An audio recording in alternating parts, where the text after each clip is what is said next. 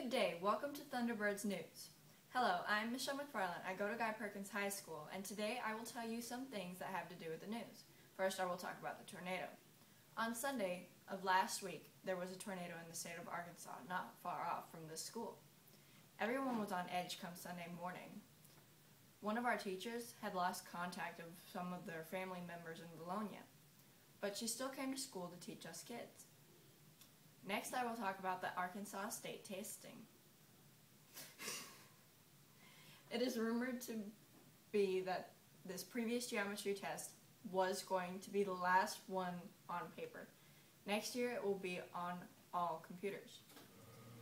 The Arkansas State test will be the same hours and days, just not on the paper. Another thing I will go over is one of the staff at Guy, Mr. Rippey, is telling us that we are getting new computers. These computers are called Chromebooks. We will be getting 150 brand new laptops for our school. These computers will replace the old ones, but they will be dumb terminals, meaning that everything you do on the computer will be taking place somewhere else, like the motherboard, and show up on your screen. Also, the seniors will be graduating soon. The ceremony will be taking place May 16th at 8 p.m. in the Thunderbird complex. Only people with invitations made by the seniors are allowed to participate. On May 5th, there will be an academic award banquet in the cafeteria. Some students have been invited as honored guests, so they may attend. Every other person who wishes to participate may pay must pay $11 for food food. All honored guests may have the, made the highest grade in one class of their classes. Also, they will be getting an award in that class. That was yesterday.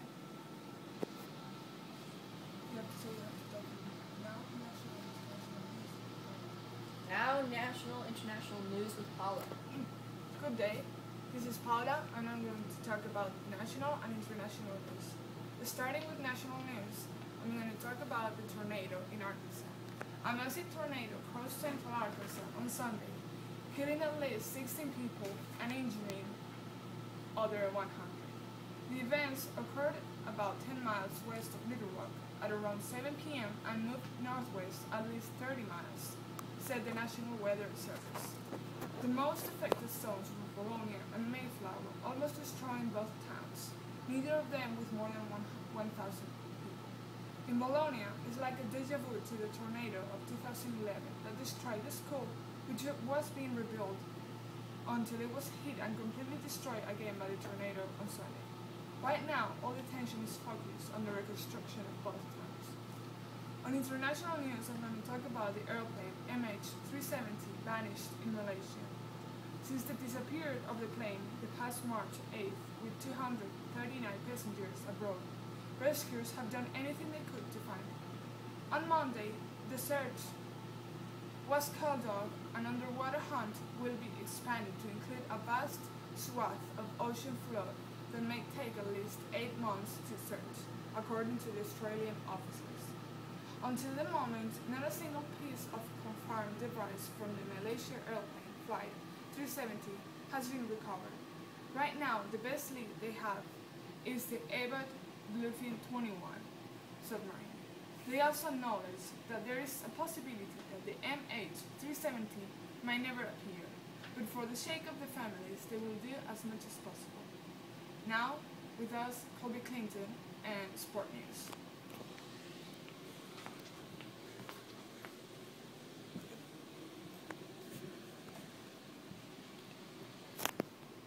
Hello, sports fans. We'll kick off with our sports segment with news from the NFL offseason. Linebacker for the Dallas Cowboys, DeMarcus Ware, was released after failed contract negotiations. Ware is the all-time leader in sacks for the Cowboys, but now Ware is a Denver Bronco. Alongside Von Miller, Denver's pass rush could be lethal, unlike last year where the team as a whole could only muster 41 sacks, while the Carolina Panthers led the league in sacks with 60. In more off-season news, Michael Vick is heading to New York, the New York Jets, that is.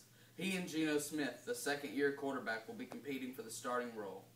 Head coach Rex Ryan has said that he will not be starting Vick immediately. he'll give Geno a fair chance to prove himself more dominant. Ryan has said that the decision will come either before or after the preseason. New York could become a powerhouse if they were to use the 13 draft picks well. The 2014 baseball season has officially begun. The favorites to make the World Series include the Washington Nationals, the Toronto Blue Jays, the San Francisco Giants, and the Los Angeles Angels of Anaheim. Although baseball is unpredictable, we know this from the 2011 season in which the season came down to the last day and kicked the Boston Red Sox and Atlanta Braves out of the playoffs and put the Tampa Bay Rays and the St. Louis Cardinals in the playoffs. We would just like to give a good luck to all the teams competing for the World Cup this year. This year's World Cup will be held in Brazil, and the favorite to win the World Cup is Brazil, who holds the most World Cup wins in history and look to win it again with their star player Neymar, who leads the team in goals this season. And finally, the NBA playoffs are in full swing. The Miami Heat are a strong contender to three-peat in the NBA Finals. The San Antonio Spurs are favorites to win in the West, so we could have a rematch from last year's fantastic seven-game NBA Finals series. We'll see what happens later this month. Good luck to all the teams. This concludes our Thunderbirds news station broadcast. We'll see you tomorrow.